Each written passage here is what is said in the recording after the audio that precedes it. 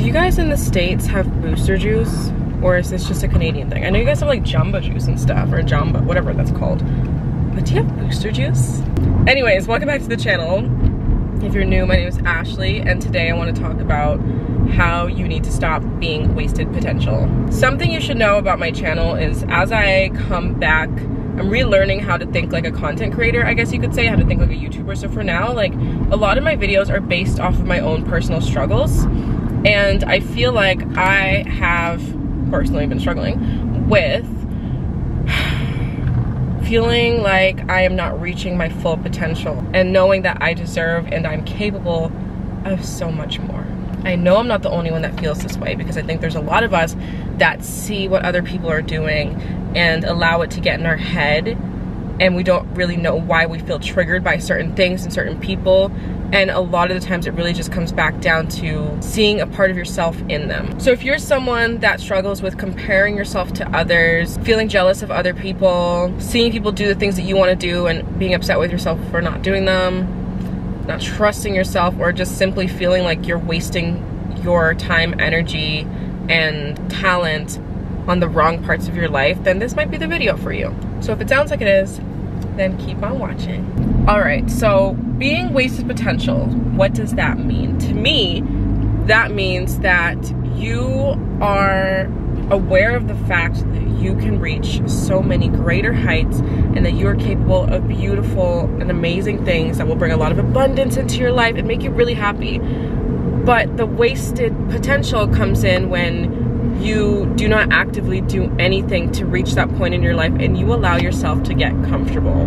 Getting comfortable could look like you staying at a job you don't like, even though you're super creative, but you're here being an accountant, an actual accountant, not like an accountant, mm-hmm. not a sparkly one. So maybe you're an accountant, maybe you work in corporate, maybe you work in a bank, but you're like the most amazing painter ever and you haven't painted in five months and you're just avoiding it and then you go online and you see other people painting and you're like wow this person just opened up their first gallery. Wow this person has a residency at this place. Or wow this person has their art showcased in this gallery. You know what i mean? And and you're watching this happen and you're like that could be me. I'm better than that bitch. Not to be rude but like sometimes you see people that are like mediocre at things that you're amazing at and you're like if that person can do all of this imagine what i could do. And i'm here type, type, type in, balance in numbers. Not that there's anything wrong with balancing numbers. I'm not saying don't do that. I'm saying do that. In addition to that, do what fuels you and do what you're good at, do what makes you happy, you know? I know so many people with 5% of the following that I have on the internet making A, more money than me, B, better engagement than me, and C, pushing out content like fucking crazy. And I watched them and I'm like, wow, they're they're killing it. They're killing it. I could do that. I could do that. I could do that. And what do I do? I don't do that. I just watch them do it. And I watch them get more and more successful. And I, I, I watch them quit their jobs and go full time. I watch them get flown out for Coachella eh, to make content. I, I, wa I watch them do everything that I want to do while sitting there thinking, I can do this. And then I don't do it. And I know that some of you watching are guilty of the same thing. That's why you're here. And it ends today, bitch. It ends today. What do you think I'm doing right now? I'm filming a video. I haven't been filming for so long. I have 22,000 subscribers on one channel, 172,000 on another channel. I have 6,000 on my TikTok. I have 9,000 on my, oh, dipped down to 8,000 on my Instagram. And I do nothing with my platforms. What am I? I'm wasted potential. I'm, I'm just here wasting, wasting away. Stop it. Stop it. Stop it. How do we stop? What I've learned is there is a weird beauty in discomfort. I got comfortable, and that's where I went wrong. I was getting all the followers and the subscribers and selling merch and making money, and I got comfortable and I got lazy with that. And when you get too comfortable, then it's very easy to just wither away. And I feel like you, if you're working a dead end job that you don't enjoy and you feel like you want to do something more, I think the problem is, is that you're probably way too comfortable. you, you've gotten used to your routine. You wake up at 7:40. You clock in by eight. I don't know what your routine is. You do your job. You finish. Make some food. You watch a show. You go to bed. And you do it all over again the next day, and you don't really know where to begin. First of all, I think a mental reset is always really helpful. Um, writing things down, writing down things that you see yourself doing in another life, but reminding yourself that it doesn't have to be another life. It can be in this lifetime. I think like it, it's it's so possible. I remember when I was literally working a job I hated and I wanted to get out, so I just started pumping out content and I quit my job within like eight months, and I was so happy and I got a book deal and I like did great things. And now I kind of look back and I'm like I did it once I could do it again. I literally my friend and I were having a conversation about this the other day. Like I literally have the blueprint and I'm still not doing it so don't feel bad if, if you're not ready yet because we've all been there. Like I've done it before and I still don't feel ready for it but I think the problem is we have to stop allowing ourselves to feel comfortable and and getting stuck in this comfort zone right I remember, I think I've mentioned this in a video before, there's this hindsight video where he was talking about stop waiting to feel motivated to do something about this. You know, like, I, if we wait until we feel motivated, it's it's never gonna come. Like, if you feel like you're a sick ass painter or you're really good with a tattoo gun or you're so good at makeup, you just need to take another class, but you don't have the money, so you're gonna wait another two years until you can save up the money to take a class. You know like uh, st- uh, shut, shut up. Like shut up with the excuses because if you wanted to you would you know? If you really wanted to you really really to your core wanted to do it you you would find a way to make it happen. There's a part of you that doesn't want to do it. For some reason get to the root of that. Figure out what that part of you is and where it's coming from. Oh i just hit a really bad patch of traffic. Figure out what that part of you is and why. For me that part of me i'll, I'll give you an example.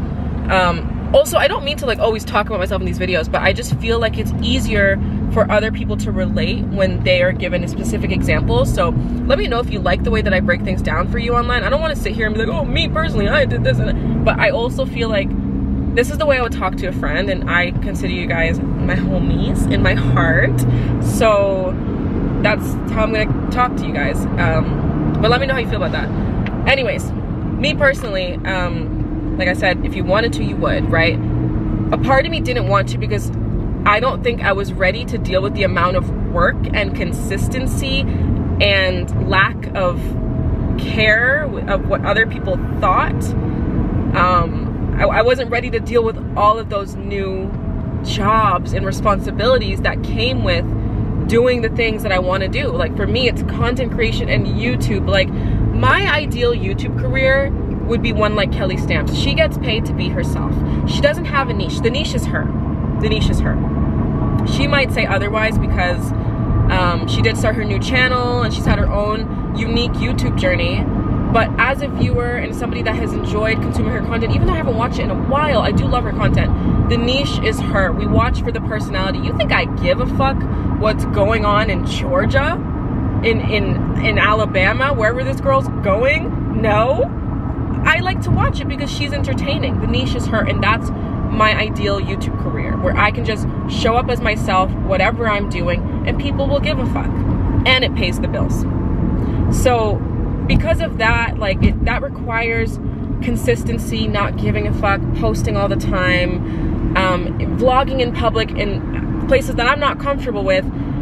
And I didn't want to do all that. And I still don't know if I do but I'm gonna have to try and push past that because what hindsight said has always stuck with me.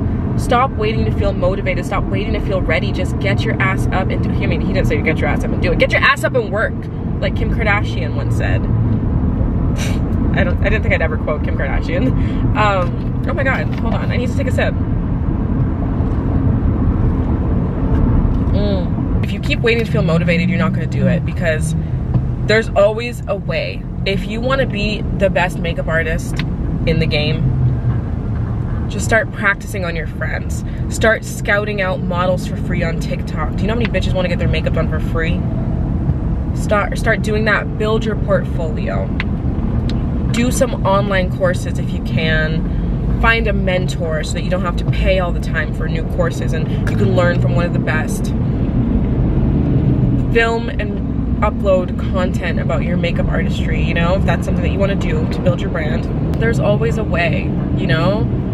Stop being wasted potential. You know you're good at that thing. You know you're good at it and you know that you're seeing other people do what you want to do and you're just like well, you know, the market's oversaturated. She's already doing it, so like we don't need another one in Toronto. We don't need another one in LA. We, there's enough room for everybody. There's enough money to go around for everybody. Like, do you know how many people are on TikTok? There are there are billions, billions of people. I think there are more people on TikTok than there are in the world because people have multiple accounts. I think there's like 10 billion accounts on TikTok or something like that. Like, there's enough room for everybody. When you sit there comparing yourself to others, and feeling jealous of others or feeling sad that they're doing this thing before you got a chance to do it and now you won't be the first or they're you know like you're just wasting time bro and potential and time. You see something in them that resonates with you. You see a part of yourself in them you see it. You know you're capable. And to, to, your core you know you're capable. And that's why it bothers you because it wouldn't bother you if it if it didn't have anything to do with you. For example if i see a nurse that's killing it online or in the hospital i'm like oh she's an amazing nurse. You think i'm gonna care? I'm not gonna be like oh, man like that nurse like i feel jealous of that nurse like oh my god like i don't care.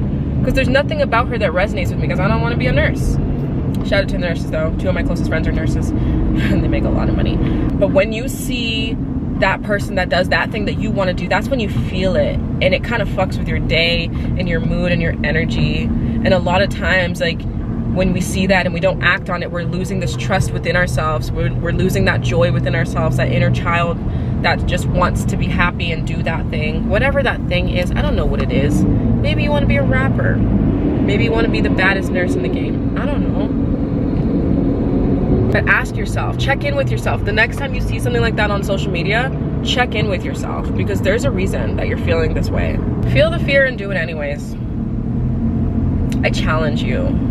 If you guys are watching and you have that thing and it's in your mind right now, what is it? Tell me. So I can hold you bitches accountable. Like, let me know. I gotta stop swearing in my videos. Oh my god, I gotta relax. I gotta stop. um, yeah, let me know in the comments. Like, do you want to be an actor, a mechanic, a dancer, a painter, a YouTuber, a TikToker? Like, what is your thing? Let me know. You know what mine is. And I'm gonna make it happen again. And I'm gonna start talking about how I'm gonna make it happen again. And you guys can hold me accountable. If I haven't uploaded in like three weeks, you guys can comment and be like, bitch, where's the upload? With the gun emoji. Threaten me. Don't threaten me. Send me a DM on Instagram, Ash Flores TV. Send me a DM on Instagram and be like, sis, where is the video? You taking a break? Delete your channel already. People will stop caring, but like, bully me, please, bully me. You have my permission because I know better. I can do better. I've done better. And so can you, and so have you. I have a friend that takes her part-time job so seriously so seriously it pains me. I watch her and i'm like can you be quiet? Oh my god she just texted me. Oh my god. Um she takes it so seriously. And mind you this job is not a career. It doesn't pay much. It's part-time. Like it's nothing serious. It's just paying her bills until her dream career works out she puts all this energy into this job, man. I'm telling you, like, you think she's trying to get employee of the fucking month, okay? But when it comes to her dream career, I don't see her taking any steps. I see her taking baby steps every few months, which is a start. Don't I don't want to discredit what she does. Mind you, all of this I would say to her face. I see her taking baby steps, right? But I don't see her like hustling. I don't see her hustling on her on her life dream. And it and it pains me to watch because i'm like girl like why do you care about this part-time so bad? Like what are they gonna do? Give you a 30 cent raise? Like they're not they don't care about you. It's a corporate they don't care. You quit tomorrow you you die tomorrow. God, don't do that. You think they're gonna think about it for more than two days? The only thing they're gonna be thinking about for two days is, oh man, we gotta replace this person. Who's next? Who's next? Put a listing up on Kijiji. But then it's like, I don't see her taking those steps towards her career. And it's like, then I see her like talking about people in that same career and upset. And I'm like, I, I get why you're upset. I get it. I, I totally get it. Because I feel that way too about my own. But like, you have the tools to do something about it and to do to do more about it. You have the tools to do more. So don't be that person. Don't. And if you are, stop. Okay, let's talk about some actionable steps we can take. Is actionable a word? It is, right? Steps we can take to move forward and stop stop doing this to ourselves. Okay, number 1, I think is building trust within yourself that is so important. What I talked about with one of my friends on the phone today is small baby steps, okay? But the baby steps can't be months apart. Baby steps every day. So if you want to be a painter, okay? I keep using the same example, but start with this uh, step one. Go buy some new pencils so you can do your sketches, you know? Go buy a new canvas. The next day, buy a, a new paint color. The next day, sketch something in your book. Like, spend 10 minutes a day. What is 10 minutes a day? How, how much time do we spend doom scrolling on TikTok? A lot of time. For me personally, I'm starting with 20 minutes of editing a day. I don't need to finish the video in one sitting like I've always done. What I typically have done is I, I film the video, you know, I put it on my computer and I edit it all in like three hours or four hours, however long it takes me, right? I don't have to do that because that feels like such a commitment. I get overwhelmed and then I say, hmm, you know what's sounding real good right now? A sandwich and some TikTok. And then I leave the video on my hard drive for four months and then I go to upload the video and by the time I edit it, it's outdated and I feel like everything I'm saying is just like so, you know, it, it just doesn't hit anymore because it's been months, you know, it's not, not relevant. It's snowy outside and my drive with me and it's summertime, you know what I mean? Like, so then I delete the footage and I do it all over again and I don't upload for six months. It's not like I haven't been filming. I've been filming, I just haven't uploaded. So now I'm like, let me spend 20 minutes a day. Most times when I tell myself I'm gonna spend 20 minutes, I end up spending 40 minutes because I get in my zone. So start with small, actionable steps. Okay, step two, start talking about your goals with other people that you trust. You don't need to talk about your end goal, but start talking about your daily goals, what you wanna start doing, what your steps are.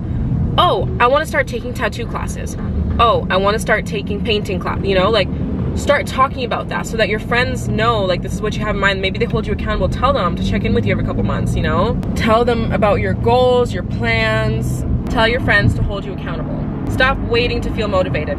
Just just do something. Do anything. Anything, bro, anything, even if it's bad. If you're trying to start a YouTube channel, post your first video. I do not care if it's bad. All of our first YouTube videos are bad no matter how good we think it is, it's bad. I thought my first YouTube video was amazing. I put so much effort. I was so proud of it. It took me hours. Now when I watch it, I'm like, ooh, jump scare. It is, it is not good. It never will be. Your first painting is gonna be absolute trash when you look at it in five years. Your first tattoo is gonna be so sloppy, it's disgusting. And not in the good way. First song, it's probably gonna sound really cheaply made when you come back to it in a few years. Like, just post the thing, do the thing, make the thing, be the thing. Like, just do it. Just do it. Another thing I want you to do is I want you to shift your perspective. I found this TikTok, and I'm gonna put the TikTok here. Just watch that first and let me explain.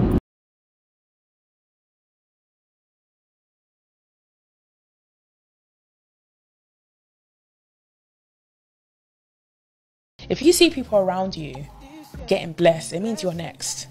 Mm. I just feel like if you live on a road, yeah, and you see the postman is delivering, you know, somebody's delivery, and they're your next door neighbor, who is the next to receive their parcel? It is you. Mm. So if they're in your circle, it means they're on your road. It means that God is on, God is delivering, and you're the one next. When you see other people doing what you want to do, and you let yourself get discouraged about it and upset about it, and you get in your little feels about it, just remind yourself, same neighborhood. Same neighborhood. Just keep telling yourself that same neighborhood. Because you know what? God wouldn't put these people, or whoever you believe in, God wouldn't put these people in your path, you know, if He didn't feel like you you were in some way, shape, or form going to resonate with that or feel close to that life, or He didn't think that you were uh, potentially a part of that. That's what I believe personally. So just repeat those words to yourself same neighborhood. When you feel jealous, same neighborhood. Make it a mantra, same neighborhood. It was a really, really useful piece of advice for me to hear. It really shifted my perspective, so shout out to that creator, honestly. My last piece of advice is be patient with yourself and know your worth. Stop letting imposter syndrome get the best of you. I have a video on imposter syndrome, go watch it. I put the tag up here somewhere. Stop letting imposter syndrome get the best of you and take over because you know what? You are amazing. You are just as amazing as the next person. You are just as capable and you will and can reach your full potential. But you have to want it. Nobody can can want that enough for you. That's on you. So, I mean, unless you find a way to clone yourself or use some AI, you know, mm. but for the most part, it's only you that is capable. And there's only one you. There's only one you. So go be great. Unlock your fullest potential. And when i figure out exactly how to unlock it i will make another video. I'm working on it. But you guys are gonna see my journey. I really wish i could see yours but that's what the comments are for um, i love you guys and i'll see you in the next video